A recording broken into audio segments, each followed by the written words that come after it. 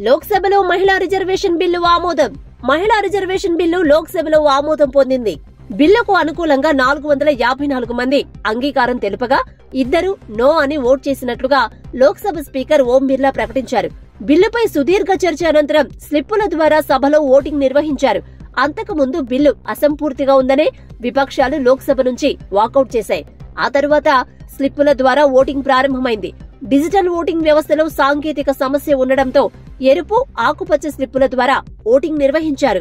ఆకుపచ్చ ఎరుపు రంగు స్లిప్పులపై ఎస్ నో అని ఉంటాయని దానిపై సభ్యుడు సంతకం చేసి వారి పేరు ఐడి నెంబర్ నియోజకవర్గం రాష్ట్రం లేదా కేంద్ర పాలిత ప్రాంతం పేరు తేదీ వంటి వివరాలు రాయాలని లోక్సభ సెక్రటరీ ఉత్పల్ కుమార్ సింగ్ ముందే సూచించారు. స్లిప్పులు పంపిణీ చేసిన తర్వాత నుంచి మళ్ళీ సభ్యుల నుంచి తీసుకునే వరకు ఎవరూ తమ సీట్లు వదిలి వెళ్ళొద్దని సూచించారు.